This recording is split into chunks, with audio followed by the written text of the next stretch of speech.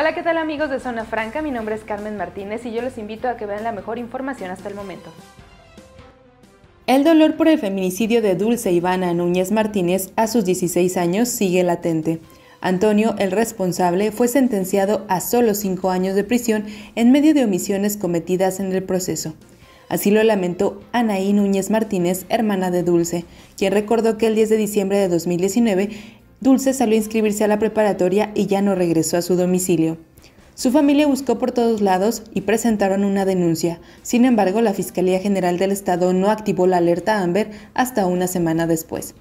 Fue el 18 de diciembre de ese año cuando encontraron su cuerpo calcinado en un terreno baldío de la comunidad Mesa de Ibarrilla.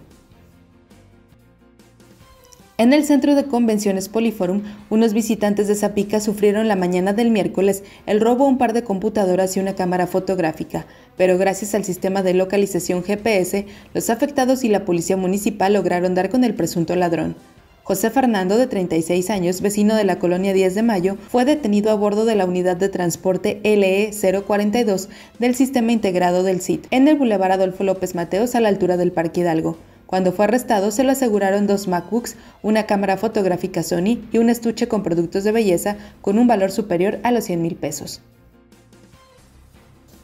Los destrozos en las estructuras de las instalaciones de Química Central de México son muestra de que las personas siguen robándose material reciclable sin saber el peligro que representan las 340 mil toneladas de contaminantes radiactivos como cromo hexavalente que llevan ahí años abandonados. Durante un recorrido realizado por Zona Franca en este pasivo ambiental, se pudo confirmar que hay nuevos daños de diversas áreas en las instalaciones ubicadas en los límites de los municipios de San Francisco del Rincón y León. Uno de los tanques que en su momento almacenaba sulfato de sodio se encontró tirado a un costado de la azotea en una habitación, donde antes estaban los trabajadores de esta empresa clausurada en el 2014.